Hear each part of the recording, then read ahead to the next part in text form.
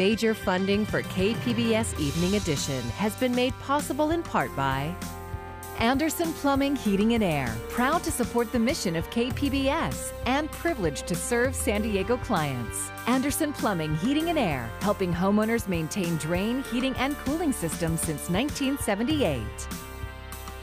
And by the Conrad Prebys Foundation, Darlene Marcos Shiley, and by the following.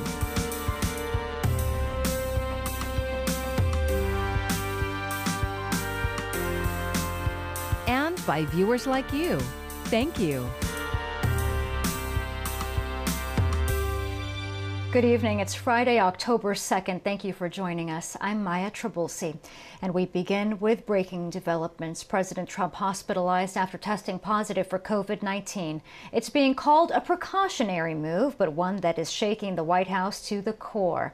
The First Lady also positive, many tonight wondering who else might be. And we have team coverage. KPBS reporter Matt Hoffman on the local reaction. But first, Mary Maloney on the president's condition and questions being raised. The president and first lady in quarantine at the White House after contracting the coronavirus. He's had mild symptoms, but he is hard at work. Um, we're having to slow him down a little bit. President Trump, who is in a high risk category for serious complications, insisted in a tweet we will get through this together. I'm optimistic that uh, he'll have a very quick and speedy recovery. Hours before he was diagnosed, the president downplayed the COVID 19 pandemic still ravaging the country. I just want to say that the end of the pandemic is in sight. Thursday, after his aide, Hope Hicks, tested positive for COVID 19, the president attended a private fundraiser in New Jersey. Wednesday, he held a Minnesota rally with minimal masks and little social distancing. We will make America safe again. Tuesday, the president shared the debate stage with Democratic nominee Joe Biden. I don't wear masks like him. Every time you see him, he's got a mask. Biden and his wife tested negative, as did his running mate, Senator Kamala Harris, and Vice President Mike Pence and the Second Lady. But the president is now a patient and will temporarily withdraw from the campaign trail all because of the coronavirus pandemic. Sad as the diagnosis is that the President and First Lady have, maybe it is the, the pivotal moment to take us to a different place as we fight this vicious virus. Mary Maloney, KPBS News. President Trump's White House doctor says the president received an experimental antibody cocktail to treat the virus. That's according to this letter addressed to the White House press secretary. The experimental treatment is from Regeneron, which is in phase three trials. The doctor also said the president remains fatigued but in good spirits. Meanwhile, here in San Diego, elected leaders on both sides of the aisle are also reacting to the news. KPBS reporter Matt Hoffman has a roundup. If I could speak to the president, I would love to tell him that I appreciate the hard work he does and I wish him well and I pray that he gets healthy soon. El Cajon Mayor Bill Wells is one of the many local officials hoping the president makes a quick recovery. This will be a, an opportunity for people to see somebody that they really know about go through the process. Uh, he is an older man and he has a couple comorbidities, so um, there's no guarantee that he'll be okay, but he, he also has uh, great medical care, and I think that. Uh, with any luck, he'll be back and around pretty quickly. Wells was invited to the White House last year and met briefly with the president. San Diego Mayor Kevin Faulconer has also met with President Trump, saying on Twitter today he's praying for the first family and wishing them well. Also, that this is a reminder for all of us to take the virus seriously. Former Congressman Darrell Issa, who is now running in the 50th Congressional District, said on Twitter he is wishing the president a safe and speedy recovery. His Democratic opponent, Ammar Campa-Najjar, also wishing the president and his family a safe recovery and asking people not to politicize this diagnosis diagnosis. People are a little shocked and dismayed by the horrible things that people are saying on Twitter about hoping he dies, and that's this is not the time for that. We've got we've got to get away from this divisive hatred of each other. From San Diego County's congressional delegation, Congressman Scott Peters says he's wishing a full recovery for the president and first lady. Juan Vargas also doing the same, saying he's continuing to pray for our country during these difficult times. Susan Davis wishing a quick recovery and hoping this helps the president gain empathy for Americans suffering because of the virus. Mike Levin also hoping the president and first lady make a full and fast recovery. Matt Hoffman, KPBS News. And now for an update on the coronavirus in San Diego County. Today, two more deaths from the virus were reported and 306 new cases were confirmed. Two new community outbreaks were confirmed in a hair salon and a hotel, bringing the total in the past seven days to 28. San Diego County is currently in Tier 2, or the red tier. That's based on the state calculated case rate, which is evaluated every Tuesday. Just two days after reopening, a staffer at West Hills High in Santee has tested positive for the coronavirus. On Tuesday, the Grossmont Union High School District welcomed a limited number of students back to campuses. A spokesperson said 23 students at West Hills will now suspend in person learning as part of the public health guidelines. They say there is no reason to close the school and that it has been cleaned and deemed safe. 32,000 airline employees face furloughs after lawmakers and the White House failed to agree on a pandemic relief package. KPBS reporter Jacob Aere says the cuts to the airline industry hurt San Diego tourism and the local economy. The proposed relief package included $20 billion in federal aid for airlines, but at the moment, two major U.S. carriers are planning furloughs. They would affect 19,000 workers at American Airlines and about 13,000 at United Airlines. But both companies vowed to reverse the job cuts if the government agrees to provide additional aid in the next few days. Still, airport traffic is way down. Most notably, you know, in, in April, which was probably the height of the pandemic, we were down um, about 95% over last year. So that means 95%, you know, less people were coming through the airport. Um, in September, we ended at uh, 69% uh, down over the previous year. And in San Diego, nationwide airline reductions and layoffs have been affecting the local economy. I will tell you that the decrease in flight has uh, flights have greatly impacted um, us as a destination for for leisure travel and business travel. This month, American Airlines cut 83,000 flights from its October schedule. That represents a 55% decrease in flights from last October, and the airline only represents a fraction of all U.S. travel. So there were some routes cut, most notably our international destinations because of the government um, restrictions that are in place. At stake are the jobs of pilots, flight attendants, baggage handlers, counter agents, and other airline and airport personnel. And the economic impacts to tourism could be felt for years. 2023 and 2024 are our expected years of recovery, right? And when I say recovery, is getting back to what we were making prior to COVID without any inflation. Two other major U.S. airlines, Delta and Southwest, have teamed up with private capital markets to help them avoid layoffs for the time being. Jacob Aere, KPBS News. The two candidates for San Diego mayor are taking shots at each other over short term rentals. This comes after our partners at inewsource reported a dramatic spike in police activity at a downtown high rise used to host pandemic parties. Assemblyman Todd Gloria vowed to take action within his first 100 days if elected and said his opponent, Councilwoman Barbara Bry would rather do nothing. Bry responded saying Gloria has blocked regulations in the past and his campaign is supported by vacation rental companies. For more on this story, go to inewsource.org. A reminder mail in ballots start going out to all registered San Diego County voters on Monday. That's also when our KPBS voter guide will go live on kpbs.org. You'll be able to check your registration, find out where and how you can vote, and research your ballot specific to your address. For weeks, California has been ravaged by wildfires with nearly 4 million acres burned this year. And as the worst fire season on record wears on, relief is not yet in sight. Connor Powell has the latest from Napa County. Pull up, pull up. For all of the firefighters working together to try to control the glass fire in Sonoma and Napa counties, two bigger forces are working against them. Forecasted high heat and strong winds. It's absolutely devastating, the, the, and heartbreaking, the destruction that I have seen, the people that I know that have lost their homes and their livelihoods. The glass fire is one of two major wildfires still out of control in Northern California. The fire is 60,148 acres. Uh, we remain at 6% containment. When combined with the Zogg fire in Shasta County, More than 100,000 acres are burned, and the fires continue. Hundreds of buildings are destroyed, hitting wine country especially hard, while the fight to save homes and businesses continue. It, uh, it takes a lot out of you.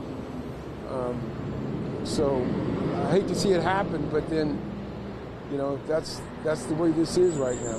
One person says it's like we can't run away. CAL FIRE says there have been more than 8,100 wildfires, about 100,000 people evacuated, and at least 30 have died since the beginning of the year. All this devastation makes even small wins mean more, like this mountain lion cub rescued from the flames.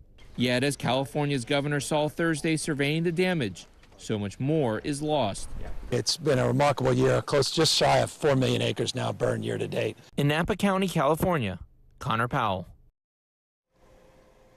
There won't be any trains running between Oceanside and San Diego this weekend. Crews will be working on stabilizing the bluffs below the tracks in Del Mar. KPBS North County reporter Tanya Thorne has a look at the progress.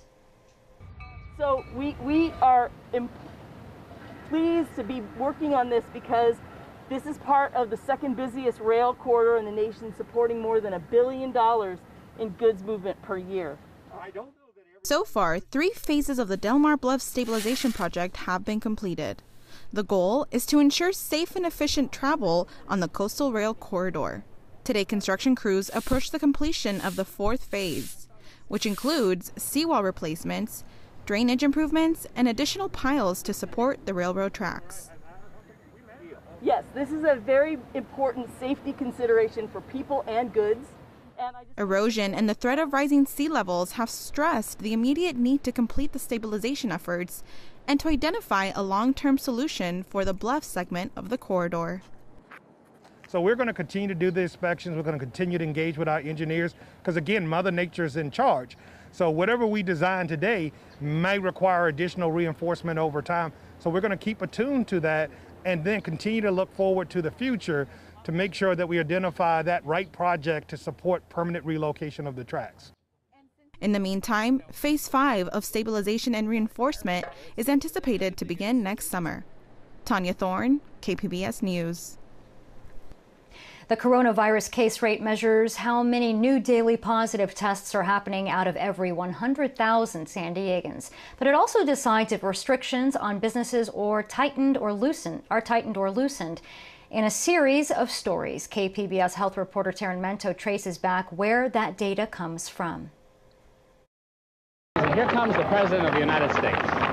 President John F. Kennedy visited San Diego just five months before his 1963 assassination. He's waving to all of the people along, waving to our camera right now. A photograph captures his motorcade passing by the 24 hour Rudford's restaurant. The community staple has welcomed diners at all hours since that day, but that streak ended in March. Governor Gavin Newsom closed all on site dining to curb the spread of coronavirus. We let go of 40 people. That was hard to do. Rudford's owner, Jeff Kasha, was forced to only offer takeout. Kasha has since been stuck in a cycle of reopenings and threatened closings based on the up and down of local coronavirus cases. We put in dividers, we have masks, we have gloves, everything sanitized. Across California, activities like dining in a restaurant or practicing your faith are controlled by coronavirus numbers. KPBS examined the data that's driving decisions in San Diego and found it's riddled with complexities and caveats. I wouldn't say I'm confident down to the last decimal point. Dr. Bill Schaffner is the medical director of the National Foundation for Infectious Diseases. He says these systems can be imperfect, but pretty close and close enough to make reasonable decisions and to assess trends over time. In a series of stories, KPBS is exploring this data driven system in San Diego to uncover the challenges and how they're overcome. And that system sort of begins with snot. You're going to go about to the mid level of your nose. Nurse Darcy LeRae walks me through how to shove a swab up my nostril. You're going to rotate it several times around the wall of your nose. Lab machines will examine the secretion for the SARS CoV 2 virus. That's what causes COVID 19. You might cough or sneeze. My results were negative, but thousands of snot covered swabs from the noses of San Diegans are transported daily to labs. At Helix Lab in La Jolla, the hours long process process to get test results begins with a robot named Boots. Booties, Booties. Actually, he thinks he's Booties, that double O gives him problems. But the results he and his machine friends uncover are relayed back to local and state decision makers through a complex and sometimes overlapping reporting network and it gets a bit wonky, so stick with me. Helix only handles local swabs collected at county testing sites, so Vice President Mark Laurent says they share results with San Diego officials twice. One way is we actually send it back to uh, the operations team that's going to uh, contact the patient. And then to the team that tracks the data that controls reopenings that's sent by fax. It's ancient, but it's also one of the most uh, safe way to pass uh, HIPAA information along. And they send it to a state team in Sacramento. So labs report both to the state and to the county. But some commercial labs report only to the state, which automatically passes San Diego results on to the county. And labs report to the healthcare providers that sent them the tests so they can tell patients. Providers also report confirmed cases to the county. The county's public health team wouldn't agree to an interview, but said in an email that staff checks daily results against its database. If they find a new result is actually a duplicate, it's attached to the existing record. But the county says some may slip through. Still, San Diego and Sacramento don't always agree on the numbers that may trigger closings. Their calculations didn't match for a bit. Thousands of results were lost in a statewide glitch. And most recently, elected county officials, including Supervisor Greg Cox, wanted the state to ignore positives among San Diego State University students seriously consider discounting or, or not including the, the approximately 700 cases that we have right now from uh, SDSU uh, students? The governor disagreed. So the answer is no. That looming closure was avoided because the case rate, even with SDSU positives, was below a state threshold. But the back and forth has left Rudford's owner, Kasha, on edge. We ran out of PPP money. We, we're into our savings. We've overspent. He worries he can't survive another closure, but the case rate is only announced on Tuesdays, so businesses wait every week to learn if the data is going in the wrong direction. And this past week, San Diego again narrowly avoided a case rate the governor considers too high. Taryn Mento, KPBS News. KPBS will continue to report stories on the region's triggers as part of its ongoing series. You can look at all 13 data points using the KPBS Trigger Tracker at kpbs.org.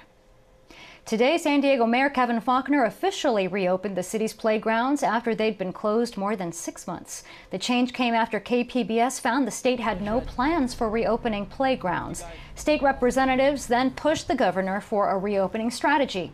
Faulconer also laid out new rules that include requirements for masks and hand washing. As we open our playgrounds, remind folks, remind parents, remind kids, please follow all of the common sense precautions because we want to keep these playgrounds open. And I will tell you, when it comes to using our outdoor spaces, our parks, it's really defined who we are as San Diegans. New signs are also up to give maximum capacities for each structure. Faulconer and one lucky child got to do what many kids have dreamed about since March tear down the orange fencing around a playground and use the swings.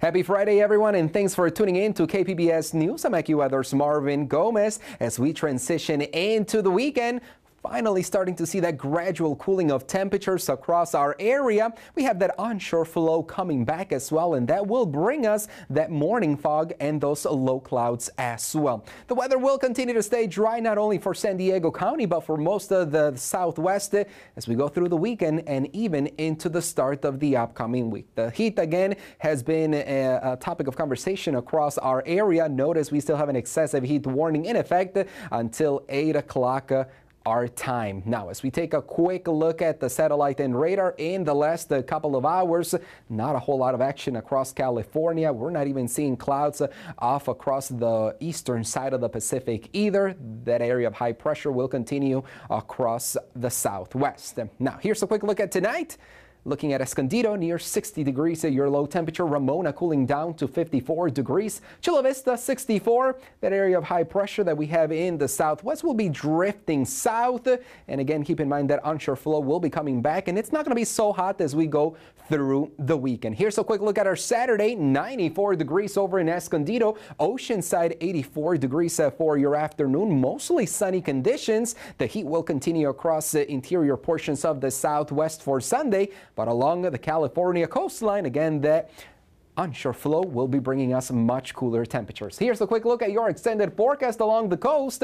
We're going to be uh, seeing those temperatures in the mid to low 80s for the next couple of days. Some more opportunities for clouds as we transition into Monday along the coast and in inland areas as well. We're getting finally into the upper 80s into Wednesday of next week and across some of the higher terrain, mid 70s and even low 70s into the middle of the upcoming work week. And here's a quick look at the desert forecast. Triple digits will continue for you out there, mostly sunny conditions for the next couple of days. For KPBS News, I'm Marvin Gomez. Back to you.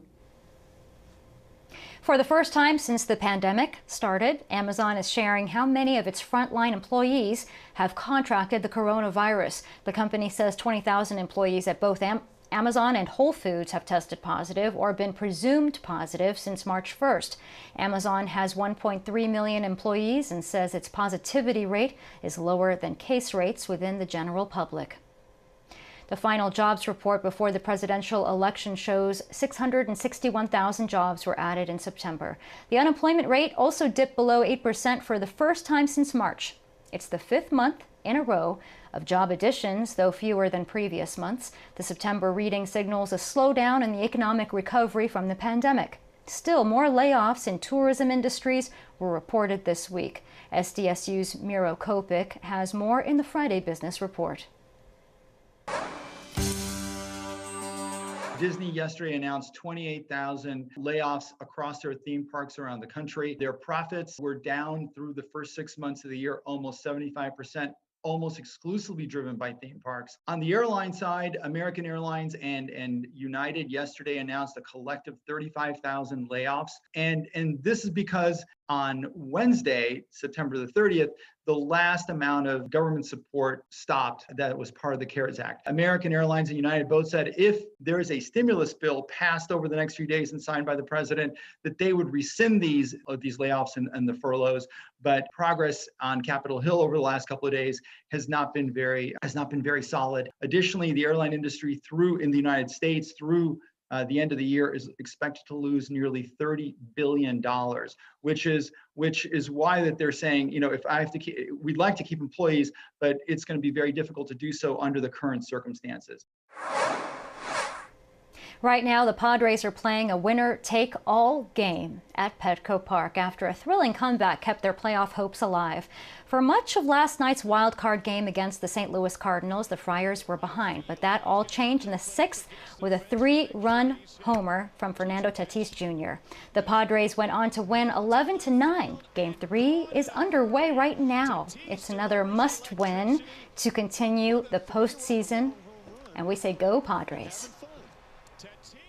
Brandon Cronenberg is the son of Canadian director David Cronenberg, the man who gave us such films as Videodrome and The Fly remake. KPBS film critic Beth Accomando says you can see the family resemblance in Brandon's sophomore feature, Possessor, which opens today at the South Bay Drive-In.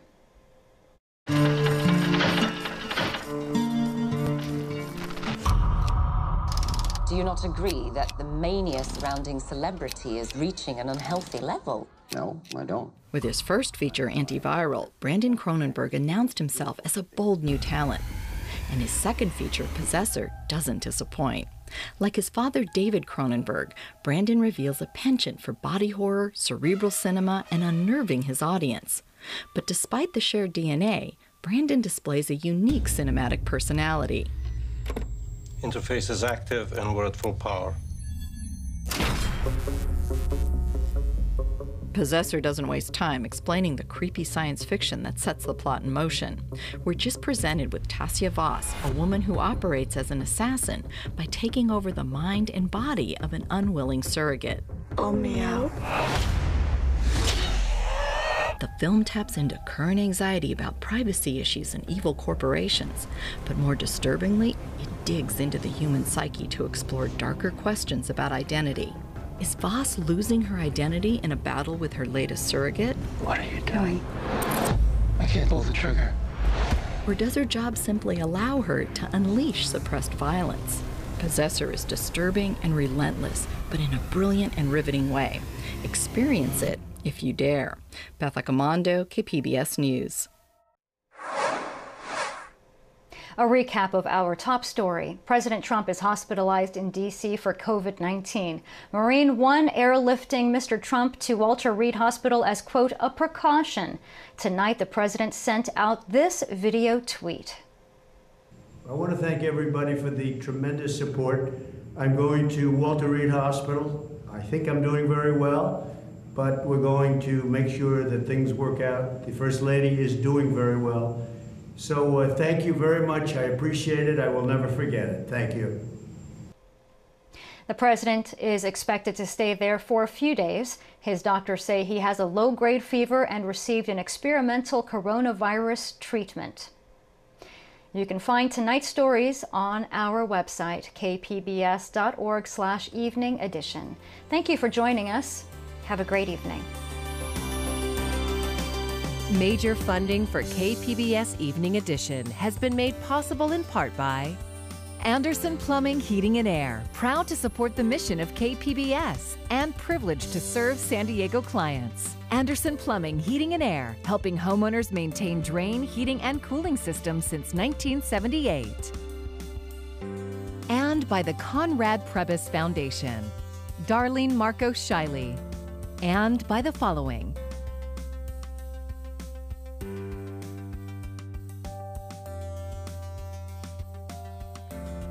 and by viewers like you. Thank you.